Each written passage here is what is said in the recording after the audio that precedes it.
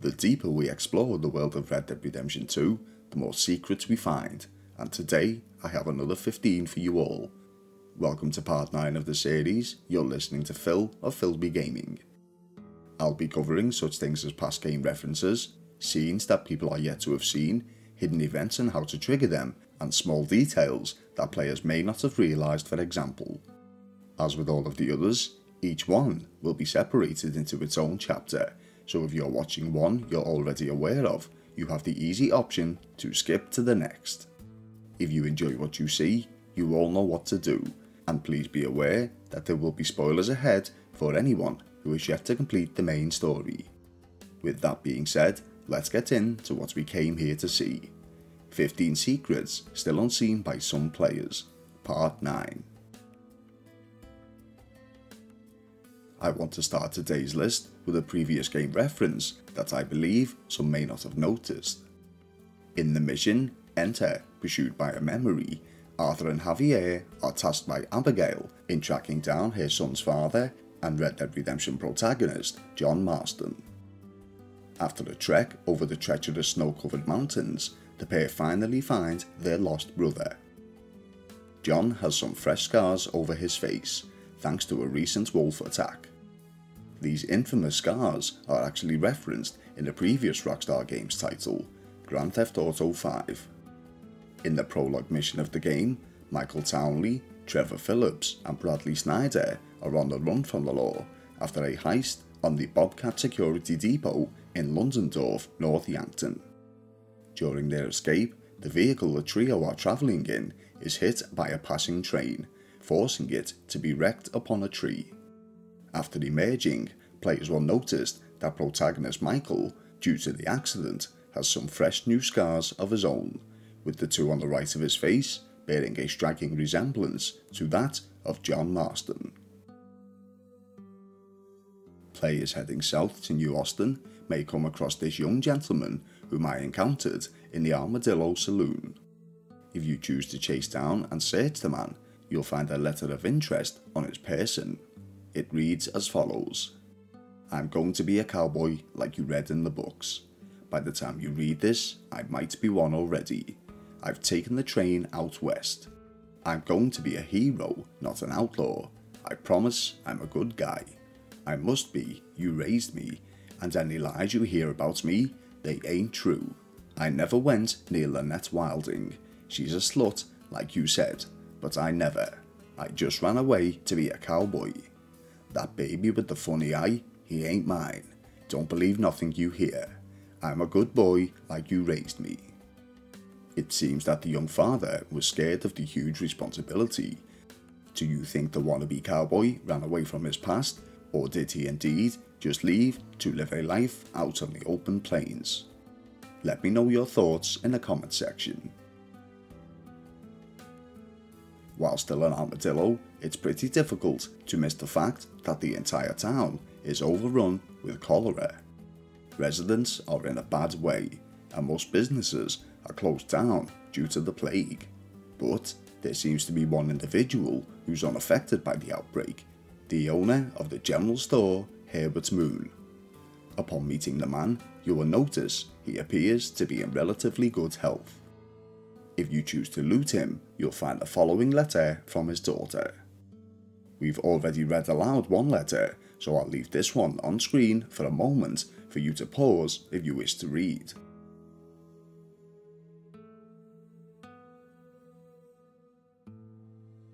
To summarise, the store owner disapproved of his daughter's choosing of her partner based solely on his race. It also states how much he loved his grocery store.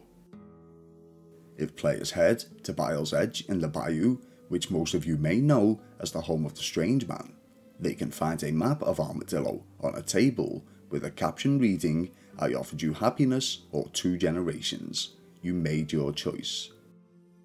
This relates to the letter we found on Herbert's moon, and it seems he chose to have two generations, in both his daughter and granddaughter, over happiness. This would explain how his daughter would marry a man whom he would disapprove of, and how the town around him fell apart, causing a suffering to his business. The next one is a secret that most may know but haven't been able to trigger it. It comes in two parts. Firstly, in the Heartlands, players will need to find this abandoned shack called Henny's Bethel.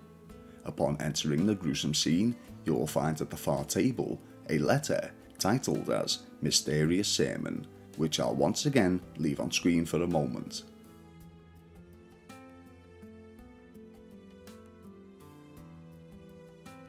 There's a couple of important things in the writings that we need to pay attention to. The top line, which reads, at the second hour, under the half moon, and the eighth line, which references Mount Shann. In our current location, at Henny's Bethel, if the player waits until around 2am, the second hour, they will be encountered by an unidentified flying object as it casts a green light over the shack whilst hovering above. This will last either until sunrise or until the player leaves the shack. Secondly, heading to the peak of Mount Shann, as referenced in line 8 of the sermon, at around the hours of 1am, players will encounter a second UFO, this time from a distance. There's a random encounter in the town of Van Horn, where a drunkard requires the player's assistance. Hey, lady, hey, I need some help. I don't know this place well. A sense of direction. Uh, it ain't good. Uh. Hey, where's the train station?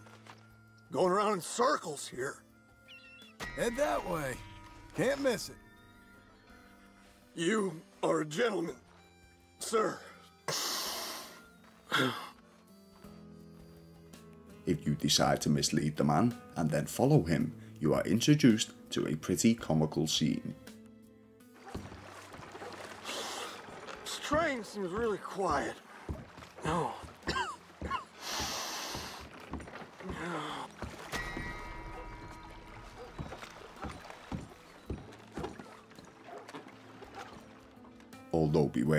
If you're not quick enough to fish the man from the waters, he will ultimately drown. To the south of Saint Denis, at the docks, there's a passageway that looks like it's being used to import goods. When product is delivered to Saint Denis by boat, it's traditionally delivered from the top side of the docks, so what would the purpose of this underground tunnel be? It appears to be a smuggler's tunnel, used to bring in products under the radar of the city. The local law are already known to be on the take from crime tycoon Angelo Bronte, as we can see by the two officials standing by, possibly waiting for a delivery and a bribe. What do you believe this tunnel was used for? In the final part of the Pouring Forth Oil mission, members of the Van gang have plans to perform a heist upon a train during nightfall.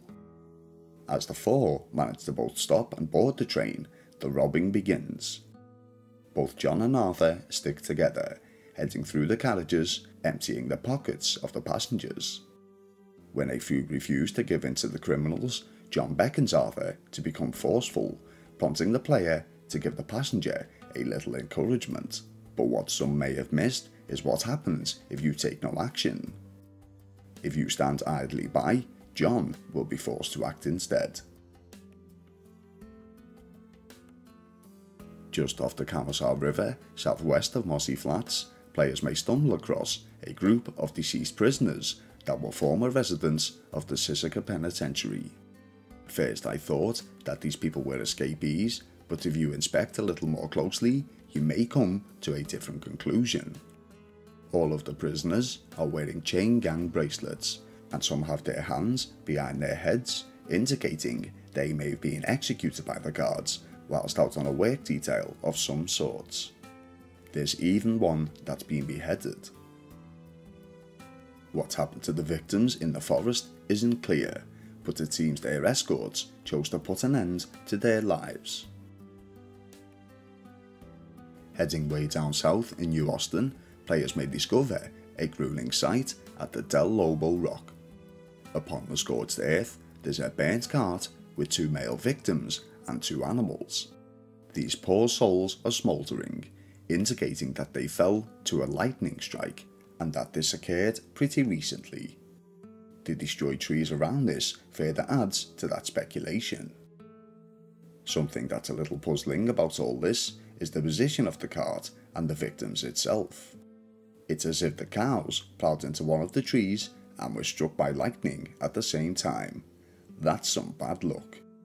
What are your thoughts on the events? To the northwestern edges of Lake Isabel, players may find this unfortunate soul who seems to have succumbed to the elements, frozen to death in nothing but a blanket. Nearby are the remains of what was potentially his steed. In the cart next to the corpse, players will find a chest containing a little bit of money and a piece of cobalt carving wood. When taken to a fence, the clerk can, along with the aid of a few other items, craft the Boar Tusk Talisman, granting the player's horse a permanent reduction in both health and stamina core drain by 10%. The identity of the individual is unknown, but he could have been potentially part of a larger group of travellers whom had left their cattle behind nearby at Spider Gorge, in what was the real life reference to the Donner Party. For the next one, I want to show you guys a reference to a previous Rockstar Games title that some may not have realised. Players of Canis Canem Edit, also known as Bully, will be aware that upon entering Chapter 2 of the game, where we're free to explore the city of Bullworth, that the carnival is in town. At this site, there's a freak show that you can explore. Aside from the reference to the Siamese twins, which I've shown in a previous video, there's a second one here, a skeletal man. The man, dressed in a top hat and trousers, may remind you of a peculiar character from both of the Red Dead Redemption titles, the Strange Man. If you look at the family portrait to the rear wall of the room, you can see the man in his regular form, further adding to this resemblance. If players are to check out below the Bacchus Bridge in the Ambro region, they will find the site of a derailed train fallen from the bridge itself. If the carriages are explored, in the first one you will find a chest containing a large jewellery bag and a bunch of cash. But what some players may not have realised is that the carriage that's landed vertically also has some goodies inside. To get to this one can be a little tough to do, so make sure you have a few health tonics. Making your way to the edge of the rock just above the cart, you can drop down inside, although this can be easily missed. Once you're successful, just continue your descent to the bottom, where you'll find a bottle of aged pirate's rum, some valerian root, a little ammunition, but more importantly, two gold bars. This could be a good start if you're just beginning your campaign. There's quite a lot of hidden treasure in the world of Red Dead Redemption 2, so I'll quickly show you guys one more. In the Cumberland Forest, slightly north of Carmody Dell, there's a single tree upon a cliff edge, and at this location are the remains of a gentleman who was halfway through burying something when he passed. In this half-dug grave is a chest. Inside are three jewellery bags and $40 worth of cash. What caused the death of the person is unknown, but them clutching their stomach may indicate a possible poisoning. There's a hidden detail right near the start of the game that I think quite a few players may not have noticed.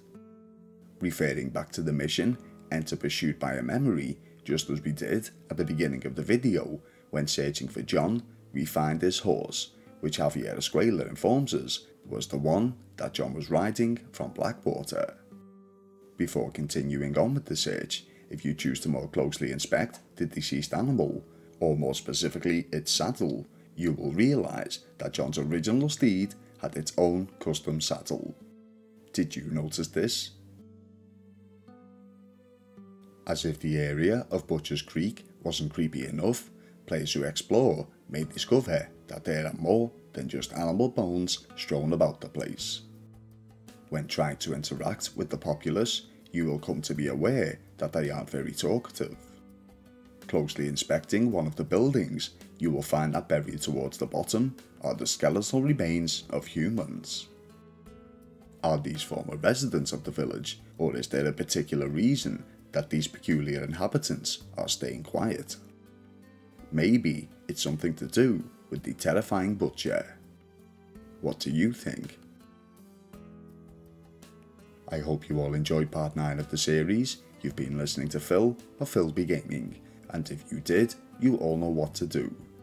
You can get in touch if you wish by following me over on Instagram which is both on screen and linked in the video description below.